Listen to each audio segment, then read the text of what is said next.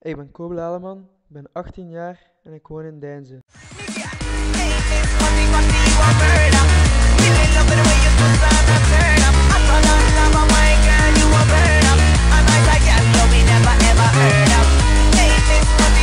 Ik zit op de school Gewest in Brugge en ik volg de richting sport en beweging.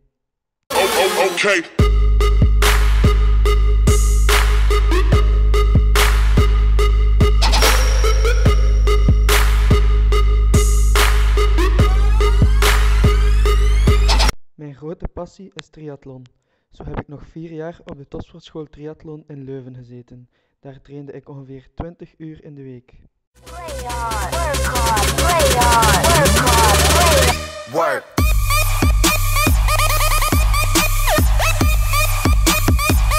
Ik zou graag bewegingsdeskundige worden, omdat ik graag een beroep zou beoefenen in de sportsector.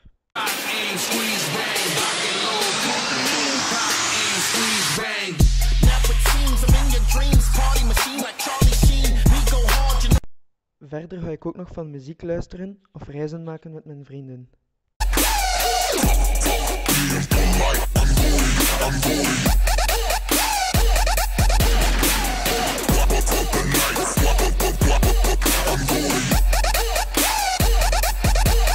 Merci om te kijken.